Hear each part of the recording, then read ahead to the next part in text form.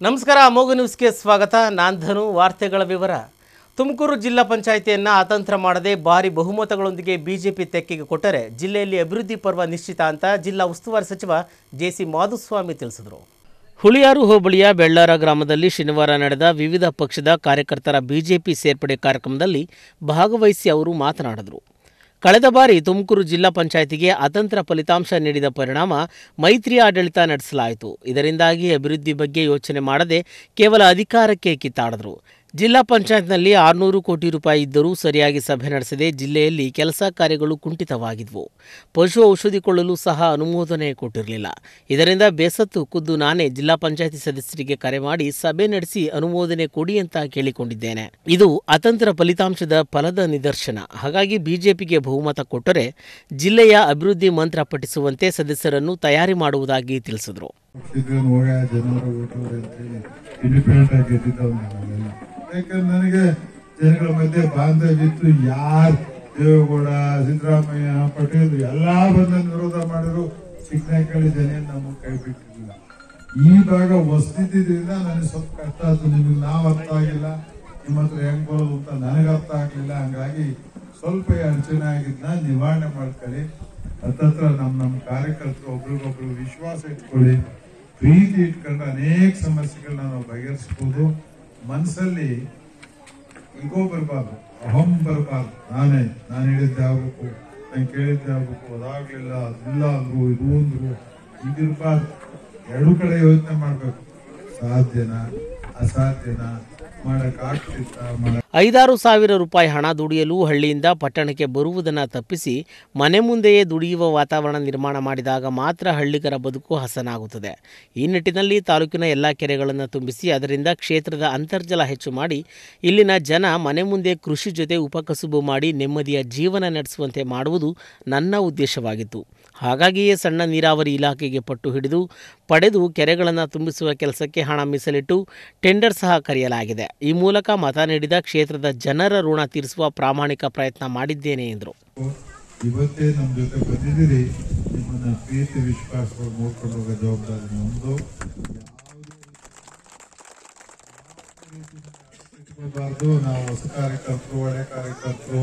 ಈ ಭಾವನೆ ಎಲ್ಲ ಮಾಡಕ್ಕಾಗಲ್ಲ. ಯಾಕೆ ನಾನೇ ಬಿಜೆಪಿ ಅಂದ್ರೆ ನಿಮ್ಮನ್ನ ಯಾಕೆ ಹೊಸಬ್ರು ಅನ್ಬೇಕು ನನ್ನೇನು ಹೊಸಬ ಅಂತ ರಾಜಕೀಯ ನಿಲ್ಸಿಲ್ಲಪ್ಪ ಕಲ್ತ್ ಮಂತ್ರಿ ಮಾಡವ್ರೆ ಮಧುಸ್ವಾಮಿ ಬಿಜೆಪಿಯಲ್ಲಿ ಇಲ್ಲ ಹೊಸದಾಗಿ ಬಂದು ರಾಜ್ಯ ರಾಜ ನಿಲ್ಸವ್ರೆ ಹಂಗಿದಾಗ ನಾವು ದ್ರೋಹ ಮಾಡ್ಬೋದಲ್ಲ ಹೊಸಬ್ರು, ಇವ್ರು ಹಳಬ್ರು ನಳಬ ಇವ್ನಿಗೆ ಇದು ಮಾಡ್ಬೇಕು ಅಂತ ಹೇಳಿ ಖಂಡಿತ ನಮ್ಮನ್ನ ಇಲ್ಲ ಎಲ್ಲ ಒಂದಾಗಿ ಹೋಗೋಣ ಒಳ್ಳೆ ಕೆಲಸ ಮಾಡೋಣ. ನಿಮ್ಮಿಂದ ನಮ್ಮಿಂದ ಜನಕ್ಕೆ ಏನಾದ್ರು ಒಳ್ಳೇದಾದ್ರೆ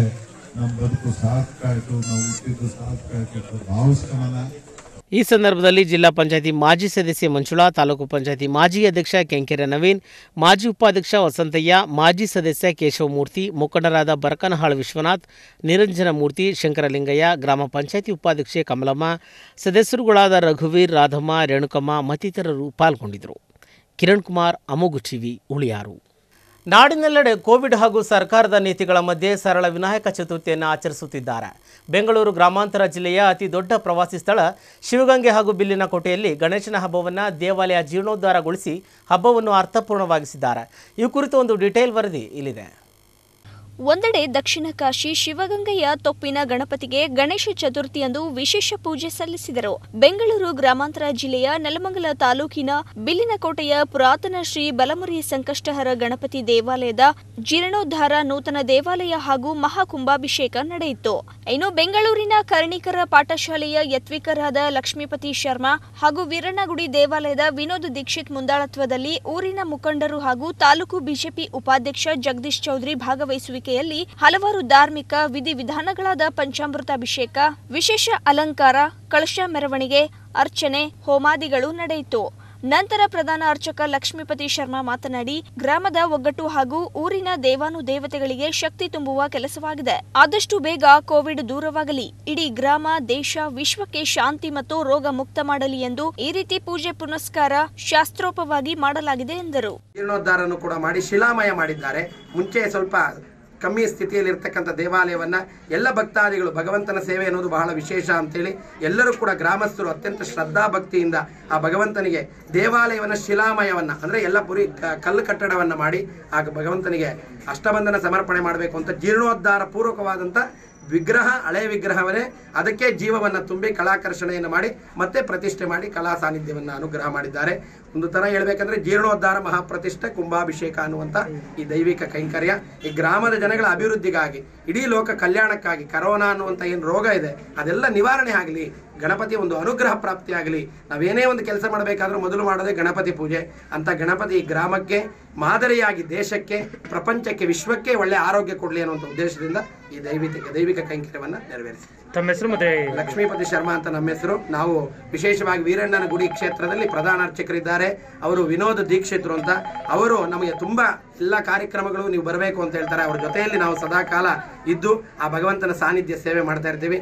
ಈ ಎಲ್ಲ ಕೈಂಕರ್ಯಕ್ಕೆ ಪ್ರಧಾನ ಆಗಮಿಕರಾಗಿರ್ತಕ್ಕಂಥವರು. ವೀರಣ್ಣನ ಗುಡಿ ಮಹಾಕ್ಷೇತ್ರದ ಪ್ರಧಾನ ಅರ್ಚಕರು ವಿನೋದ ದೀಕ್ಷಿತರು ಅಂತ ಅವರ ಒಂದು ಘನ ನೇತೃತ್ವದಲ್ಲಿ ಈ ಕಾಯಂಕರ್ಯ ಆನಂದಮಯವಾಗಿ ಸಂಪೂರ್ಣವಾಗಿ ಯಶಸ್ವಿಯಾಗಿ ನಡೆದಿದೆ ತಮ್ಮ ಹೆಸರು ಗುರುಗಳೇ? ನಮ್ಮ ಹೆಸರು ಲಕ್ಷ್ಮೀಪತಿ ಶರ್ಮಾ ಅಂತ. ನಾವು ಬೆಂಗಳೂರು ಕೆ ಆರ್ ಪುರಂ ಕರ್ಣಿಕರ ಪಾಠಶಾಲೆ ಅಂತ ಅಲ್ಲಿ ಅಧ್ಯಯನ ಮಾಡಿರೋರು. ನಾವು ಬಂದು ಅವ್ರ ಜೊತೆಲಿ ಸಹಕಾರ ಕೊಟ್ಟು ಸೇವೆ ಮಾಡಿ ಓಕೆ ಇನ್ನು ಯುವ ಮುಖಂಡ ಹಾಗೂ ಬಿಜೆಪಿ ತಾಲೂಕು ಉಪಾಧ್ಯಕ್ಷ ಜಗದೀಶ್ ಚೌಧರಿ ಮಾತನಾಡಿ, ಇಂದು ಶಿವಗಂಗೆಯ ತೋಪಿನ ಗಣಪತಿಗೆ ವಿಶೇಷ ಪೂಜೆಯನ್ನ ವೈಯಕ್ತಿಕವಾಗಿ ಕೈಗೊಂಡು ಗಣಪನಿಗೆ ಇಷ್ಟವಾದ ಕಡಲೆಕಾಳು ಪ್ರಸಾದ ವಿತರಿಸಿದ್ದೇವೆ. ತಾಲೂಕಿನ ಶಾಸನಗಳ ಕೋಟೆಗಳ ಹೆಸರಿರುವ ಬಿಲ್ಲಿನ ಕೋಟೆ, ಇಡೀ ಪ್ರಪಂಚದಲ್ಲೇ ಭೂಕಂಪವಾದ ಮೊದಲ ಉಲ್ಲೇಖನದ ಶಾಸನ ಇಲ್ಲಿದೆ.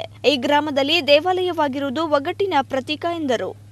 ಇವತ್ತು ನಾಡಿನಾದ್ಯಂತ ಗಣೇಶ ಚತುರ್ಥಿ ಮತ್ತು ಗೌರಿ ಚತುರ್ಥಿ ಎರಡೂ ಕೂಡ ಭಾಳ ಆಚಾರಕೃತವಾಗಿ ಭಾಳ ವಿಜೃಂಭಣೆಯಿಂದ ಆಚರಣೆ ಮಾಡ್ತಕ್ಕಂಥ ಸಂದರ್ಭದಲ್ಲಿ ಈ ಗ್ರಾಮದಲ್ಲಿರ್ತಕ್ಕಂಥ ಎಲ್ಲ ಹಿರಿಯ ಮುಖಂಡರು ಕೂಡ ಸೇರಿ ಇಂಥ ಒಂದು ಪುಣ್ಯ ಸಂದರ್ಭದಲ್ಲಿ ಊರಿನಲ್ಲಿ ದೇವಸ್ಥಾನ ಹೋಮ ಹವನಗಳು ಮಾಡೋದ್ರಿಂದ ಊರಿನಲ್ಲಿರ್ತಕ್ಕಂಥ ಕೆಲವು ಸಮಸ್ಯೆಗಳು ದೂರ ಆಗೋದ್ರಲ್ಲಿ ಯಾವುದೇ ಸಂಶಯ ಇಲ್ಲ ಆದ ಕಾರಣ ಅವತ್ತು ಇವತ್ತೇನು ಇಲ್ಲಿ ಗಣೇಶನ ಕಳಸೋತ್ಸವ ಮಾಡಿಸಿ ಹಲವಾರು ಜನ ಭಕ್ತರುಗಳಿಗೆಲ್ಲ ಕೂಡ ದರ್ಶನ ಕೊಡಿಸೋದ್ರಿಂದ ಭಗವಂತನ ಆಶೀರ್ವಾದ ಶ್ರೀ ಗಣೇಶನ ಒಂದು ಶ್ರೀರಕ್ಷೆ ಈ ಗ್ರಾಮದ ಮೇಲೆ ಇರಲಿ ಅಂತಕ್ಕಂಥದ್ದನ್ನು ಕೂಡ ಆಯ್ಕೆ ಮಾಡಿದ್ದೀನಿ ಮತ್ತು ನಾಡಿನ ಎಲ್ಲ ಕಡೆ ಆಚರಣೆ ಮಾಡ್ತಕ್ಕಂಥ ಗಣೇಶ ಚತುರ್ಥಿಯಲ್ಲಿ ಇನ್ನು ಮುಂದಿನ ದಿನಗಳಲ್ಲಾದರೂ ಕೂಡ ಈ ಕೊರೋನಾ ಅಂತಕ್ಕಂಥ ಕಾಯಿಲೆ ಹೋಗಲಾಡಿಸಿ ಜನರೆಲ್ಲರೂ ಕೂಡ ಸಂತೃಪ್ತಿಯಿಂದ ಬಾಳಲಿ ಅಂತೇಳಿ ನಾನು ಬೆಳಗ್ಗೆಯಿಂದಲೂ ಕೂಡ ಗಣೇಶನಲ್ಲಿ ಪ್ರಾರ್ಥನೆ ಮಾಡಿದ್ದೀನಿ. ಅದ್ರ ಜೊತೆಯಲ್ಲಿ ಅಲ್ಲಿ ಇಡೀ ನಮ್ಮ ಭಾರತ ದೇಶದಲ್ಲೇ ಕೂಡ, ಯಾವುದಾದ್ರು ಗ್ರಾಮದಲ್ಲಿ ಚಿಕ್ಕಹಳ್ಳಿ ಆಗಲಿ ದೊಡ್ಡದಳ್ಳಿ ಆಗಲಿ ಯಾವುದೇ ಗ್ರಾಮದಲ್ಲೂ ಕೂಡ ಒಂದು ಚಿಕ್ಕ ಗುಡಿ, ದೇವಸ್ಥಾನಗಳನ್ನ ಕಟ್ಕೊಂಡು ಹೋಮ ಮಾಡೋದ್ರಿಂದ ಎಲ್ಲೋ ಒಂದು ಕಡೆ ಮನಃಶಾಂತಿ ಸಿಗೋದ್ರಲ್ಲಿ ಯಾವುದೇ ಕೂಡ ಸಂಶಯ ಇಲ್ಲ ಅಂತಕ್ಕಂಥ ನಾವು ನಂಬ್ಕೊಂಬಂದಿರ್ತಕ್ಕಂಥ ಒಂದು ಕಾಲಘಟ್ಟದಲ್ಲೂ ಕೂಡ ನೋಡಿದ್ದೀವಿ. ಆದ ಕಾರಣ ಇವತ್ತು ಬಿಲ್ಲಿಂಕೋಟೆ ಒಳಗೆ ಈ ಥರ ಒಂದು ಅದ್ಭುತವಾದ ಕಾರ್ಯಕ್ರಮವನ್ನು ಮಾಡಿ ನಮ್ಮನ್ನು ಕೂಡ ಇಲ್ಲಿ ಕರೆಸಿ ಆ ಭಗವಂತನ ಪ್ರೇರಣೆಗೆ ಪಾತ್ರ ಮಾಡಿಕೊಟ್ಟಂಥ ಈ ಗ್ರಾಮಸ್ಥರಿಗೆ ಎಲ್ಲರೂ ಕೂಡ ನನ್ನ ಕಡೆಯಿಂದ ಅಭಿನಯ ಇನ್ನು ಮುಂದಾರು ಕೂಡ ಇಲ್ಲಿರ್ತಕ್ಕಂಥ ಎಲ್ಲ ಸಮಸ್ಯೆಗಳು ಓಡಾಡಿಸಿ, ಶಾಂತಿ ನೆಲೆಸಿ ಅಂತೇಳಿ ಭಗವಂತನ ಪ್ರಾರ್ಥನೆ ಮಾಡ್ತೀನಿ. ದಲ್ಲಿ ಯಾವುದೇ ದೇವಸ್ಥಾನಗಳು ಇದ್ದರೂ ಕೂಡ ಎಲ್ಲರೂ ಒಂದು ವೇದಿಕೆ ಸೃಷ್ಟಿ ಮಾಡ್ಕೊಂಡು ಸಹ ಪ್ರತಿ ಸ್ವಾತಂತ್ರ್ಯ ಹೋಗೋಕ್ಕೆ ಒಂದು ಮೂಲಭೂತವಾದ ಕಾರ್ಯಕ್ರಮನೇ ದೇವಸ್ಥಾನ. ಆದ ಕಾರಣ ನಮ್ಮ ತಾಲೂಕಲ್ಲಿ ಇಂಥ ಮೂರ್ನಾಲ್ಕು ಕಡೆ ಪುಣ್ಯಕ್ಷೇತ್ರಗಳಿರೋದ್ರಿಂದ ಬಿಲ್ಲಿಂಗ್ಕೋಟೆ ಮಣ್ಣೆ, ಮಾನ್ಯಪುರ ಈ ಥರ ಹಲವಾರು ಕ್ಷೇತ್ರಗಳು ನಮ್ಮಲ್ಲಿ ಇರೋದ್ರಿಂದ ನಾವೆಲ್ಲೋ ಈ ಬಾದಲ ಜನ್ಮ ತಾನಿರ್ತಕ್ಕಂಥದ್ದು ನಮ್ಮ ಪುಣ್ಯ. ಈ ಗ್ರಾಮದಲ್ಲಿ ಇವತ್ತು ದೇವ್ರ ನೆಲೆಸಿರೋದ್ರಿಂದ ಇನ್ನೂ ಅತ್ಯುನ್ನತ ಸ್ಥಾನಕ್ಕೆ ಇಲ್ಲಿ ಗ್ರಾಮದಲ್ಲಿ ಬೆಳೆದಿರ್ತಕ್ಕಂಥ ಪ್ರತಿಯೊಬ್ಬರು ಹೋಗಲಿ ಅವರೆಲ್ಲರೂ ಕೂಡ ಒಳ್ಳೆಯದಾಗಲಿ ಅಂತೆಲ್ಲ ಗಣೇಶನ ಪ್ರಾರ್ಥನೆ ಮಾಡೋಕ್ಕೆ ಓಕೆ ಒಟ್ನಲ್ಲಿ ಗಣಪನ ದೇವಾಲಯದ ಉದ್ಘಾಟನೆ ಗಣೇಶ ಚತುರ್ಥಿ ದಿನವೇ ಆಗಿರುವುದು ಸ್ವಾಗತಾರ್ಹ. ಈ ವೇಳೆಯಲ್ಲಿ ಬಿಲ್ಲಿನಕೋಟೆ ಗ್ರಾಮಸ್ಥರಾದ ಪುಟ್ಟರಾಜು, ಚಿಕ್ಕರಾಜು, ಜಯರಾಮ್ ಮೋಹನ್ ಕುಮಾರ್ ಕೃಷ್ಣ ಸೇರಿದಂತೆ ಜಗದೀಶ್ ಚೌಧರಿ ಅಭಿಮಾನಿ ಬಳಗದ ಪದಾಧಿಕಾರಿಗಳು, ಅರ್ಚಕರ ತಂಡ ಇತರರು ಇದ್ದರು. ತಗೀಕುಪೆ ಶ್ರೀಧರ್ ಅಮೋಗ್ ಟಿವಿ, ಡಾಬಸ್ಪೇಟೆ. ಶಿಡ್ಲಘಟ್ಟ ತಾಲೂಕು ಹಂಡಿಗನಾಳ ಗ್ರಾಮ ಪಂಚಾಯಿತಿ ಅಪ್ಪೇಗೌಡನಹಳ್ಳಿ ಗ್ರಾಮದಲ್ಲಿ ಕೃಷಿ ಕಾರ್ಯಾನುಭವ ಕಾರ್ಯಕ್ರಮದ ಅಡಿಯಲ್ಲಿ ಗ್ರಾಮದಲ್ಲಿ ನೆಲೆಸಿರುವ ಜಿಕೆವಿಕೆ ಕೃಷಿ ವಿಶ್ವವಿದ್ಯಾಲಯದ ವಿದ್ಯಾರ್ಥಿಗಳು ರೇಷ್ಮೆಗೂಡಿನಿಂದ ಗಣಪನನ್ನು ತಯಾರಿಸಿದ್ದಾರೆ. ರೇಷ್ಮೆಗೆ ಹೆಸರಾದ ಶಿಡ್ಲಘಟ್ಟ ತಾಲೂಕಿನಲ್ಲಿ ನಾವು ಮೂರು ತಿಂಗಳ ಕಾಲ ಕೃಷಿ ಕಾರ್ಯಾನುಭವ ಪಡೆಯಲು ನೆಲೆಸಿದ್ದೇವೆ. ಗಣೇಶನ ಚತುರ್ಥಿಗೆ ನಾವು ಇಲ್ಲಿನ ಪ್ರಸಿದ್ಧ ರೇಷ್ಮೆ ಗೂಡಿನಿಂದಲೇ ಗಣಪನನ್ನ ತಯಾರಿಸಲು ತೀರ್ಮಾನಿಸಿದೆವು. ಅದಕ್ಕಾಗಿ ಇಲಿ ಮತ್ತು ಅಳಿಲು ತಿಂದು ಹೊರಹಾಕಿರುವಂತಹ ರೇಷ್ಮೆಗೂಡನ್ನು ಬಳಸಿ ನಾವು ಗಣಪತಿ ಮೂರ್ತಿಯನ್ನು ಮಾಡಿದ್ದೇವೆ. ಜೊತೆಗೆ ಬೇರೆ ವಸ್ತುಗಳನ್ನು ಬಳಸದೆ ರೇಷ್ಮೆಗೂಡಿನಲ್ಲಿ ಮಾತ್ರವೇ ಗಣಪನನ್ನು ತಯಾರು ಮಾಡಿದ್ದೇವೆ. ಸುಮಾರು ಐದು ದಿನಗಳ ನಿರಂತರ ಪ್ರಯತ್ನದಿಂದ ಗಣೇಶನನ್ನು ಮಾಡಿದ್ದು ಮೂರ್ತಿಗೆ ಹಾರ ಮತ್ತು ಹೂಗುಚ್ಛವನ್ನು ಸಹ ರೇಷ್ಮೆಗೂಡನ್ನು ಬಳಸಿ ಮಾಡಿದ್ದೇವೆ. ಅಂತೇಳಿ ಸರ್ಚ್ ಮಾಡಿದ್ರು. ಬೇರೆ ಬೇರೆ ರೀತಿಯ ಎಲ್ಲ ಒಂದು ವಿಘ್ನೇಶ್ವರಗಳನ್ನ ಸಿಕ್ತು ಬಿಟ್ರೆ ಗೂಡಲ್ಲೇ ಮಾಡಿರ್ತಕ್ಕಂಥ ವಿಘ್ನೇಶ್ವರಗಳು ಆ ಗೂಗಲ್ ಕೂಡ ಇಲ್ಲ. ನಿಜವಾಗ್ಲೂ ಇದು ನಿಜವಾಗ್ಲೂ ರಾಜ್ಯಕ್ಕೆ ಒಂದು ಕೀರ್ತಿ ತರ್ತಕ್ಕಂಥ ಒಂದು ವಿಘ್ನೇಶ್ವರನ ಪರಿಸರ ಉಳಿಸುವ ನಿಟ್ಟಿನಲ್ಲಿ ಮಾಡಿದ್ದಾರೆ. ನಿಜವಾಗ್ಲೂ ಆ ಕೃಷಿ ವಿಶ್ವವಿದ್ಯಾನಿಲಯದ ಎಲ್ಲ ವಿದ್ಯಾರ್ಥಿ ವಿದ್ಯಾರ್ಥಿಗಳಿಗೂ ನಾವು ಅಪ್ಪೇಗೌಡನಹಳ್ಳಿ ಗ್ರಾಮಸ್ಥರ ಪರವಾಗಿ ಧನ್ಯವಾದಗಳನ್ನು ಅರ್ಪಿಸ್ತಾ ಇದ್ದೀವಿ ನಮ್ಮ ಪುಟ್ಟರಾಜು ಸರ್ ಅವರ ಮನೆಯಲ್ಲಿ ಈ ದಿನ ನಾವು ಗಣೇಶನ ಪೂಜೆಯನ್ನು ಸಲ್ಲಿಸಿದ್ವಿ. ನಾಳೆ ದೇವರ ಪೂಜೆ ಸಲ್ಲಿಸಿದ ನಂತರ ಎಲ್ಲ ಗ್ರಾಮಸ್ಥರು ಹಾಗೂ ಮಹಿಳೆಯರು ಅರಿಶಿನ ಕುಂಕುಮ ಕೊಡುವುದರ ಜೊತೆಯಲ್ಲಿ ನಾವು ಬೀಜದ ಉಂಡೆಗಳನ್ನು ಸಹ ವಿತರಣೆ ಮಾಡುತ್ತೇವೆ. ಪ್ರಪ್ರಥಮ ಬಾರಿಗೆ ರೇಷ್ಮೆ ಗೂಡಿನಿಂದ ತಯಾರು ಮಾಡಿದ ಗಣೇಶನನ್ನ ಪ್ರತಿಷ್ಠಾಪಿಸಿದ ಹಿರಿಮೆ ಕೃಷಿ ವಿಶ್ವವಿದ್ಯಾಲಯ ಹಾಗೂ ಚಿಕ್ಕಬಳ್ಳಾಪುರ ಜಿಲ್ಲೆಯ ಹಾಗೂ ರೈತ ಸಂಘದ ಬಾಂಧವರಿಗೆ ಸಲ್ಲುತ್ತದೆ ಎಂದು ವಿದ್ಯಾರ್ಥಿಗಳು ತಿಳಿಸಿದ್ದಾರೆ.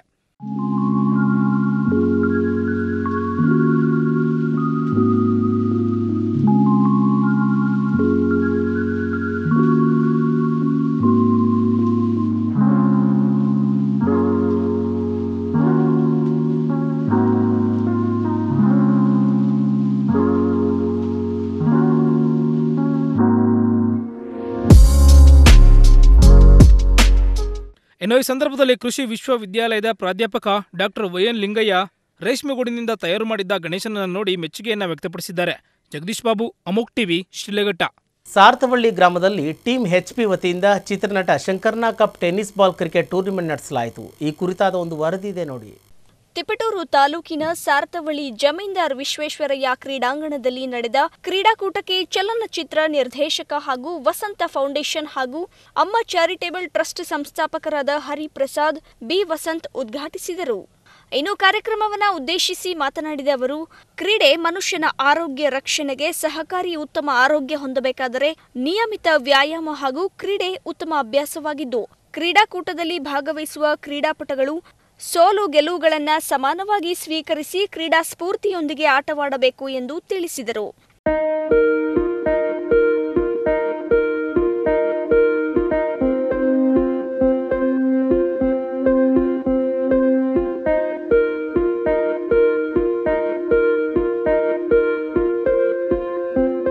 ಇನ್ನು ಕಾರ್ಯಕ್ರಮದಲ್ಲಿ ಮುಖ್ಯ ಅತಿಥಿಗಳಾಗಿ ಭಾಗವಹಿಸಿದ ಕುಮಾರ್ ಆಸ್ಪತ್ರೆ ವೈದ್ಯಾಧಿಕಾರಿ ಡಾಕ್ಟರ್ ಶ್ರೀಧರ್ ಮಾತನಾಡಿ, ಗ್ರಾಮೀಣ ಭಾಗದ ಯುವಕರು ಕ್ರೀಡೆಗಳಲ್ಲಿ ಹೆಚ್ಚು ಹೆಚ್ಚು ತೊಡಗಿಸಿಕೊಳ್ಳಬೇಕು. ಸೋಲು ಗೆಲುವುಗಳನ್ನ ಸಮಾನವಾಗಿ ಸ್ವೀಕರಿಸಿದರೆ ಉತ್ತಮ ಭವಿಷ್ಯ ರೂಪಿಸಿಕೊಳ್ಳಲು ಸಾಧ್ಯವಾಗುತ್ತದೆ ಎಂದು ತಿಳಿಸಿದರು. ಇನ್ನು ಕಾರ್ಯಕ್ರಮದಲ್ಲಿ ಡಾಕ್ಟರ್ ಶ್ರೀಧರ್, ಮುಖಂಡರಾದ ಅಮರ್ ಸಿಂಗ್, ಬಳ್ಳೆಕಟ್ಟೆ ನರಸಿಂಹಯ್ಯ, ಭಾಗ್ಯಮ್ಮ, ಚಿರಂಜೀವಿ, ಚಿತ್ರನಟ ದಿಲೀಪ್, ಕಾರ್ತಿಕ್ ಮುಂತಾದವರು ಉಪಸ್ಥಿತರಿದ್ದರು. ಮಂಜುನಾಥ್ ಹಾಲ್ಕುರ್ಕೆ ಅಮೋಗ್ ಟಿವಿ ತಿಪಟೂರು. ನೂರು ವರ್ಷಗಳ ಹಿಂದೆ ಫ್ರಾನ್ಸ್ ದೇಶದಲ್ಲಿ ಬಹುದೂರದ ಸೈಕ್ಲಿಂಗ್ ಕ್ರೀಡೆ ಆರಂಭವಾಯಿತು. ಅದನ್ನು ರಾಂಡೋನೂರಿಂಗ್ ಅಂತ ಕರೆಯುವರು. ಪ್ರಪಂಚಾದ್ಯಂತ ರಾಂಡೋನೂರಿಂಗ್ ಶತಮಾನೋತ್ಸವದ ಆಚರಣೆ ಸವಿ ನೆನಪಿಗಾಗಿ ನೂರಕ್ಕೂ ಹೆಚ್ಚು ಕಿಲೋಮೀಟರ್ ದೂರದ ಸೈಕ್ಲಿಂಗ್ ಆಯೋಜಿಸಲಾಗುತ್ತಿದೆ ಎಂದು ಬೆಂಗಳೂರು ರಾಂಡೋನಿಯರ್ಸ್ ಕ್ಲಬ್ ಅಧ್ಯಕ್ಷ ಮೋಹನ್ ಸುಬ್ರಹ್ಮಣ್ಯ ತಿಳಿಸಿದರು.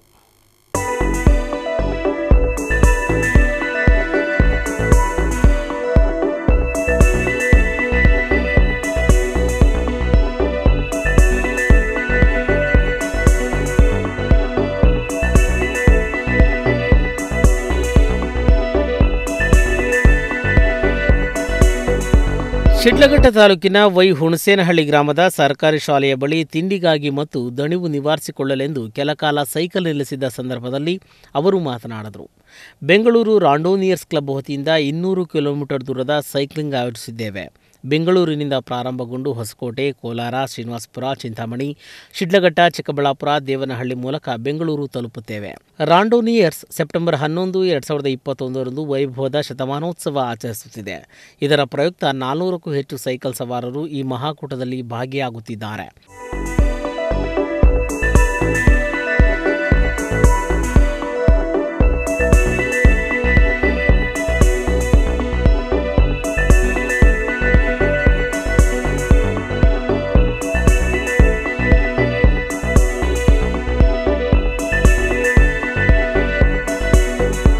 ಸವಾರರನ್ನು ತಲಾ ಇನ್ನೂರು ಜನರ ಎರಡು ಗುಂಪುಗಳಾಗಿ ವಿಭಜಿಸಲಾಗಿದೆ. ಯುವಕರು, ಮಹಿಳೆಯರು, ವೃದ್ಧರು ಎಲ್ಲರೂ ಇದ್ದಾರೆ. ಈ ಕಾರ್ಯಕ್ರಮಕ್ಕೆ ಬೆಳಗ್ಗೆ ಬೆಂಗಳೂರಿನಲ್ಲಿ ಎಫ್ಕೆಸಿಸಿಐ ಅಧ್ಯಕ್ಷ ಪೆರಿಕಲ್ ಸುಂದರ್ ಮತ್ತು ಎಡಿಜಿಪಿ ಭಾಸ್ಕರ್ ರಾವ್ ಚಾಲನೆ ನೀಡಿದರು. ಸ್ಟಾರ್ಟಿಂಗ್ನಿಂದ ಬ್ರವೆ ಓಡ್ತಾ ಇದ್ದೀವಿ ಸೊ ಆಯಿತು ನಾನು ಬಹಳ ಬ್ರವೆ ಮಾಡಿದ್ದೇನೆ. ಒನ್ ತೌಸಂಡ್ ಒನ್ ತೌಸಂಡ್ ಕೂಡ ಮಾಡಿದ್ದೇನೆ. ಇವಾಗ ಎಕ್ಸ್ಪೀರಿಯನ್ಸ್ ಇದು ಸ್ಪೆಷಲ್ ಬ್ರವೆ ಇಲ್ಲ ಅದು ನೂರಕ್ಕೆ ಸ್ಪೆಷಲ್ಲು ಈ ರೂಟ್ ಚೆನ್ನಾಗಿರುತ್ತೆ ಜಾಲಿಯಾಗಿರುತ್ತೆ ಎಂಜಾಯಬಲ್ ಆಗಿ ಬರ್ಬೋದು. ಅದೇ ಇದು. ನನ್ನ ಏನು ಇದು ಇದು ಫಿಟ್ನೆಸ್ ಏನಿಲ್ಲ ನಾನು ಫಿಟ್ನೆಸ್ ಮಾಡಿಲ್ಲ. ಸುಮ್ಮನೆ ಜಾಲಿಗಾಗಿ ಮಾಡ್ತಾ ಇದ್ದೀವಿ. ಆ ಫಿಟ್ನೆಸ್ ಸೈಡ್ ಬೈ ಪ್ರಾಡಕ್ಟ್ ಅದು. ಅದು ಬರುತ್ತೆ ಸ್ವೀಟ್ನೆಸ್ಸು ಅದು ನಾವು ಒಂದು ಫುಲ್ ಡೇ ಓಡಿತಾ ಇದಲ್ವ ಅದರಲ್ಲಿ ಏನೋ ನನ್ನ ನೆ- ಚೆನ್ನಾಗಿದೆ ಸರ್. ಬಹು ಚೆನ್ನ ಭಾಳ ಚೆನ್ನಾಗಿದೆ. ಇಲ್ಲ ಶುಗರ್ ಇಲ್ಲ ಬಿ ಪಿ ಇಲ್ಲ, ಅದೆಲ್ಲ ಇಲ್ಲ. ಮೆಂಟಲ್ ಟೆನ್ಷನ್ ಇಲ್ಲ. ಅದೆಲ್ಲ ಬೆಸ್ಟ್ ಚೀಪ್ ಆ್ಯಂಡ್ ಬೆಸ್ಟ್ ಈ ಸೈಕಲ್ ಸವಾರಿಯು ದೂರ ಪ್ರಯಾಣದ ಇನ್ನೂರು ಮುನ್ನೂರು ನಾಲ್ನೂರು ಆರುನೂರು ಮತ್ತು ಸಾವಿರ ಕಿಲೋಮೀಟರ್ಗಳ ಸವಾರಿಯೊಂದಿಗೆ ದೂರದ ಸೈಕ್ಲಿಂಗ್ ಆಗಿದೆ. ಇದನ್ನು ಬ್ರೆವೆಟ್ಸ್ ಡಿ ರಾಂಡೋನಿಯರ್ಸ್ ಮೋಂಡಿಯಾಕ್ಸ್ ಅಂತ ಕರೆಯಲಾಗುತ್ತೆ. ದೂರ ಸೈಕಲ್ ಸವಾರಿಯ ಕಾರ್ಯಕ್ರಮಗಳಲ್ಲಿ ಭಾಗವಹಿಸುವುದು ಸುದೀರ್ಘ ಸಂಪ್ರದಾಯದ ಭಾಗವಾಗಿದ್ದು ಫ್ರಾನ್ಸ್ ಮತ್ತು ಇಟಲಿಯು ಸೈಕ್ಲಿಂಗ್ ಕ್ರೀಡೆಯ ಮೂಲ ಆಗಿದೆ. ಈ ಜನ ಸಂಘ ಸಂಘಟನೆ ಒಂದೇ ಒಂದು ಸೇರಿಸ್ಕೊಂಡು ಮಾಡಲಿಕ್ಕೆ ಎಲ್ಲರೂ ಒಟ್ಟಿಗೆ ಒಂದು ಕಂಟ್ರಿ ಸೈಡ್ ಒಂಥರ ವ್ಯಾಯಾಮಕ್ಕಾಗಲಿ. ಹಾಗಾಗಿ ಜನ ಒಂದು ಸೇರಿಕೊಂಡು ಒಂದು ಪಿಕ್ನಿಕ್ ಥರ ಮಾಡಲಿಕ್ಕೆ ಇದು ರೇಸ್ ಅಂತಲ್ಲ ಇದು. ಯಾರು ಫಸ್ಟ್ ಮುಗಿಸ್ತಾರೆ ಲಾಸ್ಟ್ ಮುಗಿಸ್ತಾರೆ ಅಂದಿಲ್ಲ ಎಲ್ಲರೂ ಆ ಟೈಮ್ ಒಳಗೆ ಮುಗಿಸ್ಬೇಕಂತಿರುತ್ತೆ. ಆ ಟೈಮ್ನಲ್ಲಿ ಮುಗಿಸಿದ್ರೆ ಎಲ್ರಿಗೂ ಒಂದು ಫ್ಯಾನ್ಸ್ನಿಂದ ಒಂದು ಮೆಡಲ್ ಬರುತ್ತೆ. ಇದು ನೂರನೇ ವರ್ಷ ಆಗಿರೋದ್ರಿಂದ ಒಂದು ಸ್ಪೆಷಲ್ ಮೆಡಲ್ ಇದೆ ಅದಕ್ಕೆ ಅದು ಅಲ್ಲಿಂದನೇ ಫ್ಯಾನ್ಸ್ನಿಂದನೇ ಬರುತ್ತೆ. ಇವತ್ತು ಬೆಳಗ್ಗೆ ಇನ್ನೂರು ಜನ ಆಗಿದ್ರಲ್ಲಿ ರಿಜಿಸ್ಟ್ರಲ್ಲಿ ನೂರ ಎಂಬತ್ತ್ಮೂರು ಜನ ಸ್ಟಾರ್ಟ್ ಮಾಡಿದ್ವಿ ಬೆಳಗ್ಗೆ ಫ್ಲಾಗ್ ಆಫ್ ಮಾಡಿದ್ವಿ. ನಾಳೆ ಇನ್ನೊಂದು ಇನ್ನೂರು ಜನ ಫ್ಲಾಗ್ ಆಫ್ ಮಾಡ್ತೀವಿ ಲೈಟಿಗೆ ಒಟ್ಟಿಗೆ ಈವೆಂಟ್ಗೆ ನಾನ್ನೂರು ಜನ ಇದ್ವಿ. ನಾನ್ನೂರು ಜನ ನಮ್ಮ ಬೆಂಗಳೂರು ಕ್ಲಬ್ನ ಒಂದು ಏಳ್ನೂರ ಐವತ್ತು ಜನ ಇದ್ವಿ. ಇಡೀ ಇಂಡಿಯಲ್ಲೇ ಇವತ್ತು ಸುಮಾರು ಇಂಡಿಯಲ್ಲೇ ಎಲ್ಲ ಊರಿನಲ್ಲಿ ಬೆಂಗಳೂರು ಥರ ಚೆನ್ನೈ ಆಗಲಿ ಅಂತ ಕಡೆ ನಾಲ್ಕು ಸಾವಿರ ಜನ ಎಲ್ಲ ಕಡೆ ಇವತ್ತು ರೈಡ್ ಸ್ಟಾರ್ಟ್ ಮಾಡಿದ್ದೀವಿ ಎಲ್ಲ ಕಡೆ. ಬೇಕಾದ್ರೆ ಮಾಡಬೇಕು ಬಟ್ ಹದಿನೆಂಟು ವರ್ಷದ ಮೇಲಾದವ್ರು ಯಾರು ಬೇಕಾದ್ರೂ ಮಾಡ್ಬೋದು. ಇಲ್ಲಿ ವಯಸ್ಸಾದವರು ಎಂಬತ್ತು ವರ್ಷದ ಎಪ್ಪತ್ತು ವರ್ಷದವರು ಬಂದು ಮಾಡ್ತಾ ಇದ್ದಾರೆ ನೋಡಿದ್ವಿ. ಇಲ್ಲಿ ಹೆಣ್ಮಕ್ಳು ಮದುವೆ ಆದವರು ಐವತ್ತು, ಅರವತ್ತು ವರ್ಷದ ಹೆಂಗಸರು ಕೂಡ ಮಾಡಿದ್ದಾರೆ ಇದು ರೈಡ್ಗಳು ಇದು ಇನ್ನೂರು ಕಿಲೋಮೀಟ್ರಿಂದ ಸ್ಟಾರ್ಟ್ ಆಗಿ ಮುನ್ನೂರು, ನಾನ್ನೂರು, ಆರುನೂರು, ಸಾವಿರ ಇದೆ, ಸಾವಿರದ ಇನ್ನೂರು ಇದೆ. ನಾನು ಸ್ವಯಂ ನಾನು ಒಂದು ಹತ್ತು ವರ್ಷದಿಂದ ನಾನು ಸೈಕಲ್ ಮಾಡ್ತಾ ಇದ್ದೀನಿ, ಒಂದು ಲಕ್ಷ ಕಿಲೋಮೀಟ್ರ್ ಆಗಿದೆ. ಬೇಸಿಕಲಿ ಆಫೀಸ್ ಓಡಾಡಲಿಕ್ಕೆ ಅಥವಾ ಇಂಟರ್ನ್ಯಾಷನಲ್ ರೈಡ್ಸ್ ಅಂತಿದೆ. ಬೆಂಗಳೂರಿಂದಾಗಿ ಇಂಡಿಯಾದಿಂದಾಗಿ ಸುಮಾರು ಜನ ಇಂಟರ್ನ್ಯಾಷನಲ್ ರೈಡ್ಸು ಮಾಡಿದ್ವಿ. ಸಾವಿರದ ಇನ್ನೂರು ರೈಡ್ ಅಂತ ಒಂದು ಸ್ಪೆಷಲ್ ಇವೆಂಟ್ ಇರುತ್ತೆ ಪ್ಯಾರಿಸ್ನಲ್ಲಿ. ನಾಲ್ಕು ವರ್ಷ, ನಾಲ್ಕು ವರ್ಷಕ್ಕೊಂದ್ಸಲಿ ಆಗುತ್ತೆ. ಅದನ್ನು ಮಾಡಿದ್ವಿ. ಆಮೇಲೆ ಲಂಡನ್ನಲ್ಲೂ ಅದೇ ರೀತಿ ಇನ್ನೊಂದು ಇವೆಂಟ್ ಇರುತ್ತೆ. ಎಲ್ಲಿ ರಾಂಡೋನಿಯರ್ಸ್ ಎರಡು ಸಾವಿರದ ಹತ್ತರಲ್ಲಿ ಔಡಾಕ್ಸ್ ಇಂಡಿಯಾ ರಾಂಡೋನಿಯರ್ಸ್ ಅಡಿಯಲ್ಲಿ ಭಾರತದಲ್ಲಿ ಅಸ್ತಿತ್ವಕ್ಕೆ ಬಂದಿತ್ತು. ಬಿಆರ್ಎಂನ್ನು ಬೆಂಗಳೂರಿನಲ್ಲಿ ಕಳೆದ ಹತ್ತು ವರ್ಷಗಳಿಂದ ನಡೆಸಲಾಗ್ತಾ ಇದೆ ಮತ್ತು ದೂರದ ಸೈಕ್ಲಿಂಗ್ ಕಾರ್ಯಕ್ರಮಗಳನ್ನು ಆಯೋಜಿಸುವ ಮೂಲಕ ಆರಂಭಿಕ ನಗರಗಳಲ್ಲಿ ಒಂದಾಗಿದೆ. ರಾಂಡೋನಿಯರ್ಸ್ ಸಮುದಾಯವು ಕಳೆದ ಮೂರು ನಾಲ್ಕು ವರ್ಷಗಳಲ್ಲಿ ಹತ್ತು ಪಟ್ಟು ಬೆಳೆದಿದೆ ಮತ್ತು ಏಳ್ನೂರ ಐವತ್ತು ಹೆಚ್ಚಿನ ಸಕ್ರಿಯ ಸದಸ್ಯರನ್ನು ಹೊಂದಿದೆ ಎಂದರು. ಜಗದೀಶ್ ಬಾಬು ಅಮುಗು ಟಿವಿ, ಶಿಡ್ಲಘಟ್ಟ. ರೋಟರಿ ಚಿಕ್ಕನಾಗ್ನಹಳ್ಳಿಯ ಸಂಸ್ಥೆ ನಾಯಕತ್ವದ ಸಂಪರ್ಕ ಸೇತುವೆಯಾಗಿ ಕಾರ್ಯನಿರ್ವಹಿಸುತ್ತಾ ದುಡಿಯುತ್ತಿದೆ. ಉತ್ತಮವಾದ ಕೆಲಸ ಮಾಡಿಕೊಟ್ಟರೆ ಮಾತ್ರ ರೋಟರಿ ಸಂಸ್ಥೆ ನಾಯಕತ್ವದ ಸ್ಥಾನಮಾನ ತಂದುಕೊಡುತ್ತದೆ ಎಂದು ರೋಟರಿ ಸಂಸ್ಥೆಯ ಜಿಲ್ಲಾ ಗವರ್ನರ್ ಫಜಲ್ ಅಹಮದ್ ಹೇಳಿದರು.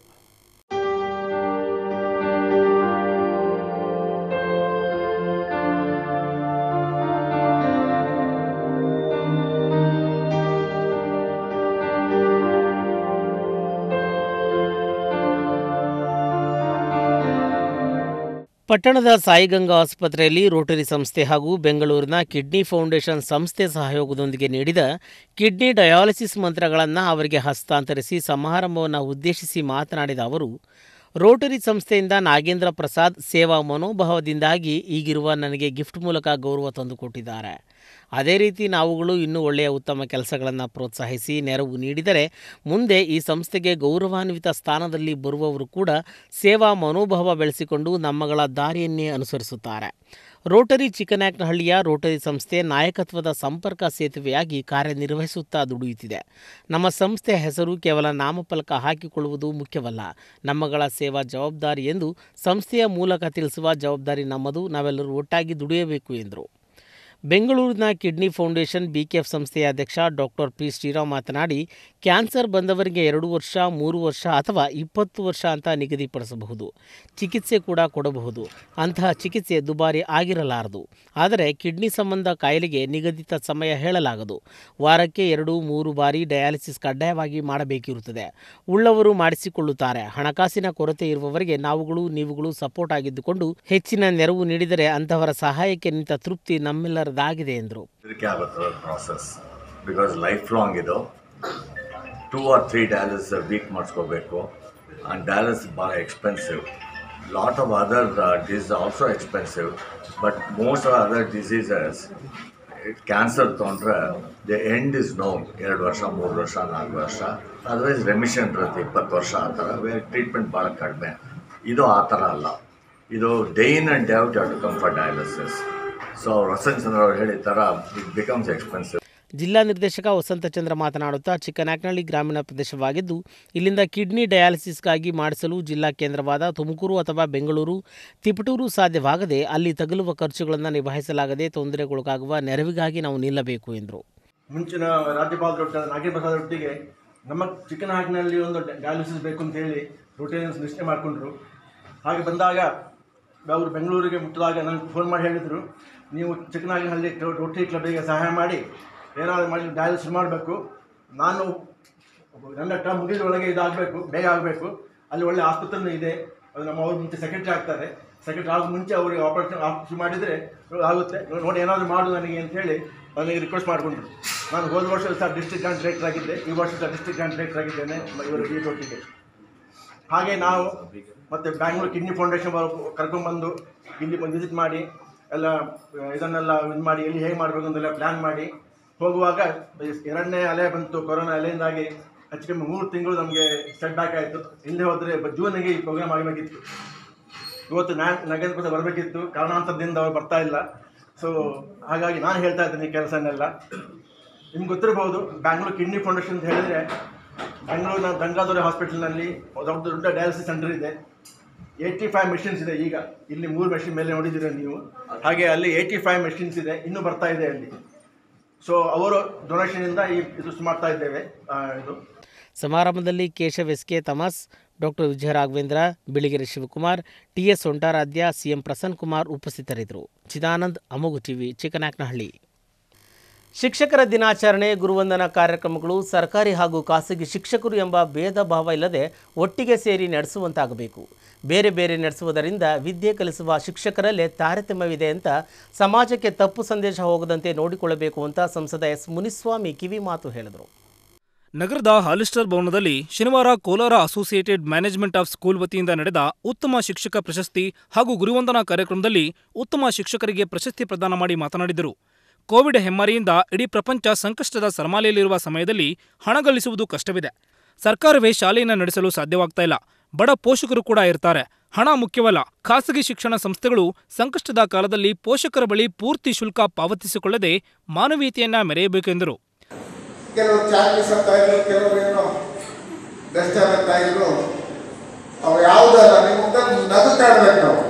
ನಾನು ಒಳಗಡೆ